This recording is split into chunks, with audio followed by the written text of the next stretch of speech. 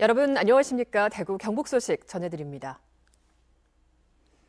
대구와 경북 지역은 오후부터 차차 흐린 날씨를 보이겠습니다. 경북 북부와 서부 지역에는 낮부터 내일 새벽까지 바람과 함께 5mm 안팎의 비가 내리겠습니다. 오늘 아침 최저 기온은 대구가 영하 2.9도, 안동이 영하 5.1도 등 영하 7도에서 영상 2도의 분포를 보였습니다. 낮 최고 기온은 대구 의성이 16도, 안동이 13도 등 10도에서 17도 분포로 어제보다 4, 5도가량 높겠습니다.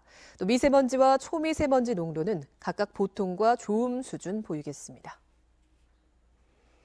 어제 저녁 6시 40분쯤 청도군 풍광면의 한 돼지 농장에서 불이 나 2시간여 만에 꺼졌습니다. 인명피해는 없었지만 3,500제곱미터 규모의 돼지우리 한 채가 전소되면서 키우던 돼지 2,500여 마리가 죽어 소방서 추산 5억 원 상당의 재산 피해가 났습니다. 또 어젯밤 10시 반쯤에는 영천시 부감면에 있는 돼지 농장에서 불이 나 1,500여 미터 상당의 돈사 2개 동을 태우고 3시간 반 만에 꺼졌습니다. 이 불로 돈사 안에 있던 돼지 1000마리가 죽어 2억 5천여만 원의 재산 피해가 발생했습니다. 어제 치러진 대학 수학능력 시험 지난해보다는 어렵지 않았다는 분석이 나오고 있습니다. 그런데 숨 돌릴 틈도 없이 내일부터 바로 수시 대학별 고사가 시작하는데요. 앞으로의 입시 전략을 어떻게 준비해야 할지 알아봅니다. 박재영 기자입니다. 입시 전문가들은 올해 수능이 지난해보다 어렵지 않았다는 평가를 합니다. 지난해 굉장히 어려웠던 국어가 쉬웠고 다른 과목도 지난해와 비슷하거나 조금 어려운 수준이었기 때문입니다. 시험 문제 그냥 그럭저럭 풀만 했던 것 같아요. 수험생들은 가장 먼저 답안을 가채점에 자신의 예상 점수를 파악해야 합니다. 가채점 결과를 토대로 수시 대학별 고사 응시 여부를 결정하거나 정시 지원 전략을 세워야 합니다. 당장 내일부터 시작되는 논술고사도 지원 대학에서 발표한 모의 논술 등을 통해 출제 경량을 숙지해야 합니다. 여러 입시 기관의 다양한 정보를 꼼꼼히 비교하고 분석하는 것도 중요합니다.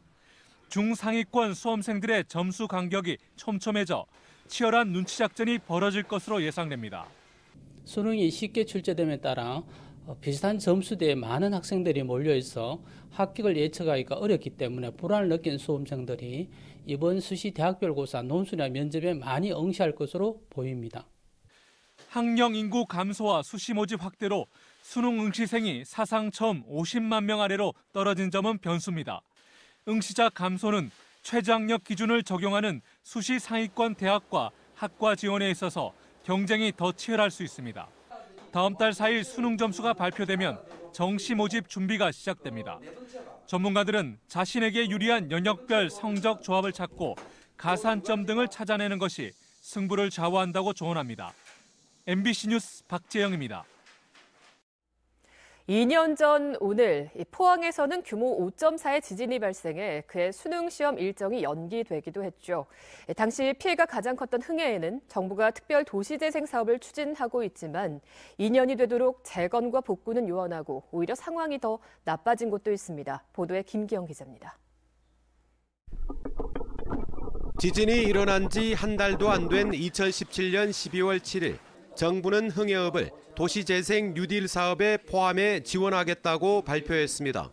발빠른 정부의 대책을 반길 것 같았던 피해 주민들은 마치 예언이라도 한 듯 현실과 동떨어진 대책이라고 시큰둥했습니다. 뭐 정부나 모든 곳에서 이런 식으로 하는 거는 저희 주민들 입장에서는 전혀 그거는 고맙게 생각도 안 들고 이해가 안 가는 부분들이 많습니다. 지난해 8월 지진 피해 건축물 가운데 가장 먼저 재건축이 확정된 환호동 대동 빌라. 곧 시작될 것 같았던 재건축은 가구당 1억 원의 자부담이라는 벽을 만났습니다.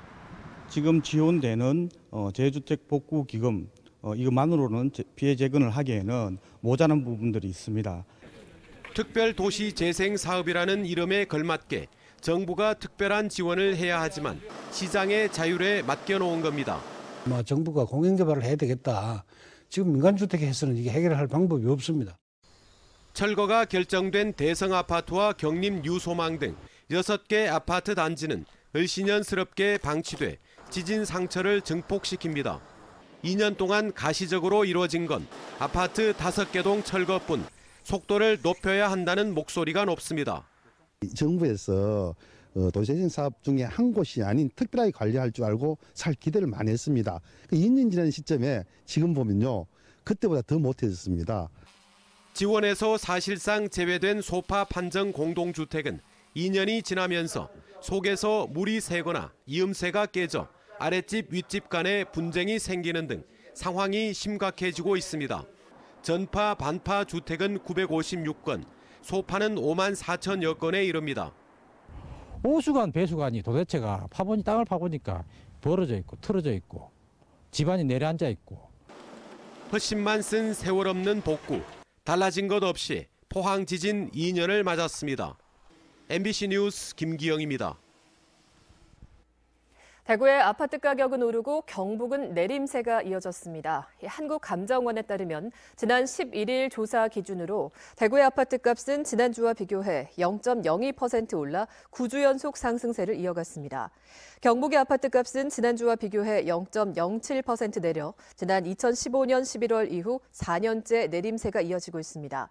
전세값의 경우에는 대구는 0.08% 올랐고 경북은 0.08% 내렸습니다. MBC 930 뉴스를 마칩니다. 여러분 고맙습니다.